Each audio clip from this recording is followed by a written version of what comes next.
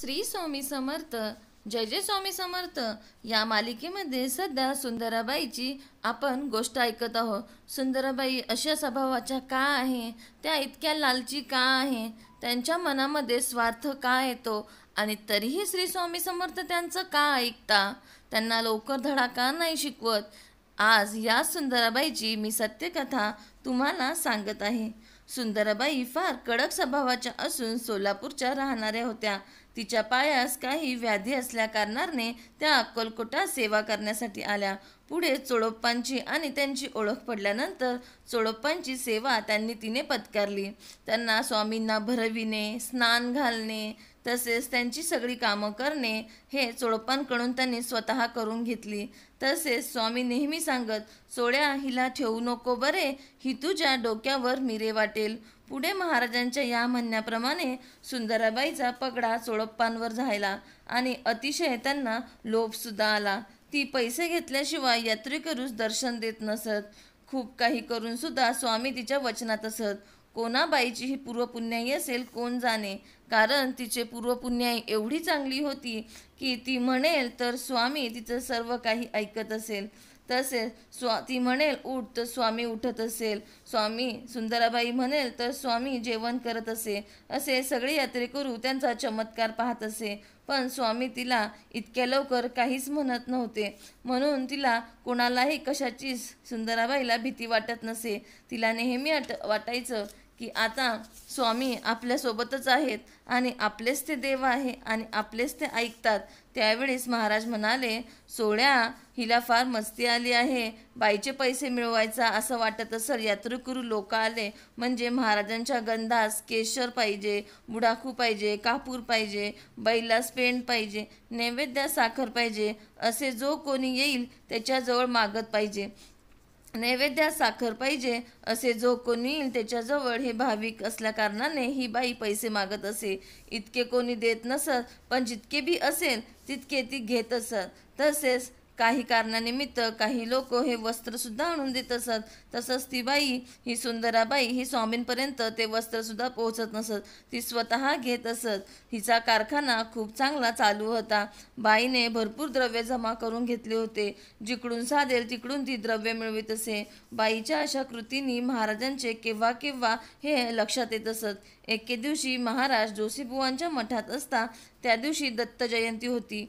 यात्रेची गर्दी फार करिता महाराजांनी सकाळी चार वाजता स्नान घालून भोजन घातले.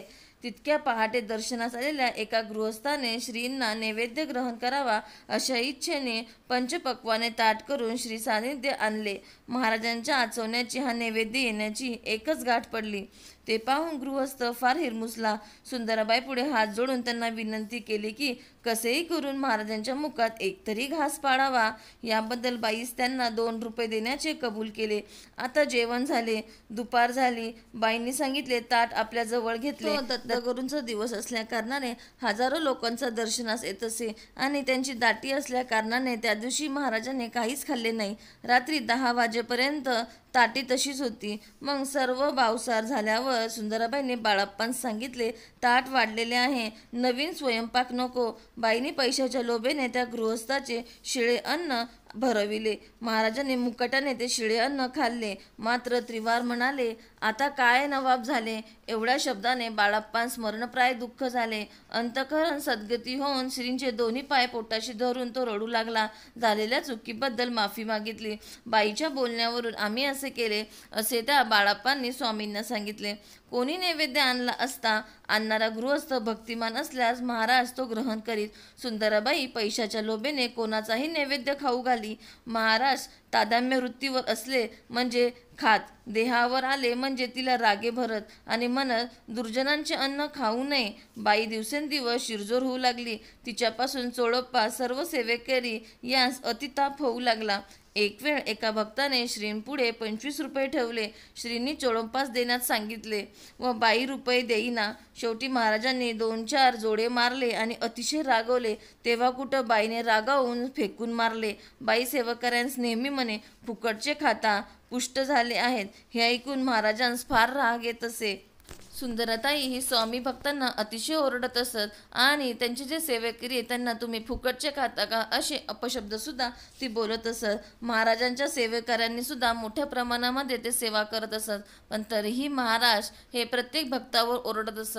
त्यांची प्रत्येक भक्तावर नजर असत. आणि या सुंदराबाई ही तशाच लोभी वृत्तीच्या होत्या. याचा धडा चोडोप्पांनी सुद्धा शिकला होता. आणि चोडप्पासुद्धा स्वामींच्या नजरेतून खाली पडले होते. कारण त्यांनाही या सुंदराबाईमुळे पैशाचा लोभ सुद्धा काही वेळा निर्माण झाला होता.